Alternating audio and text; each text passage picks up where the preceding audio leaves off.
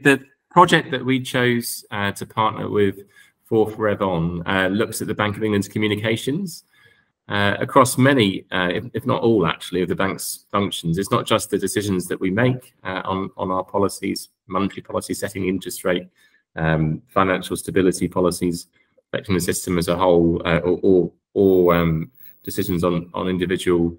firms in supervision uh, that, that matter is, is, is, actually also how we communicate those decisions. And, and that can have a real impact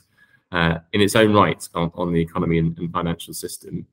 It's a complex area and the, the content of our communications, of course, also reflect uh, the latest developments in the economy and in, in financial markets, as well as having that own uh, distinct influence on, on what happens next.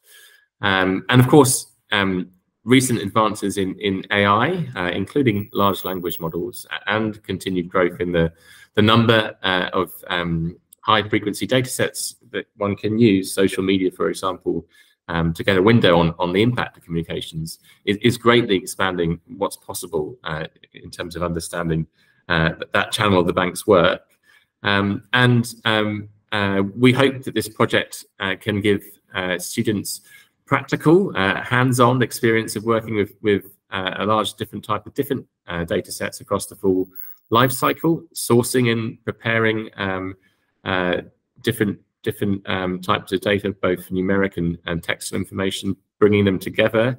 using a range of tooling to draw insights from the data sets, and a range of techniques to, to visualize those results so they have um, have real impact. It's a really important area, as I said, um, uh, understanding um, the influence of, of our own communications on um, on markets and, and, the economy more broadly. Uh, and uh, there's a lot of different dimensions that um, can be explored in this space. And we really look forward to seeing how people approach it and learning from the work.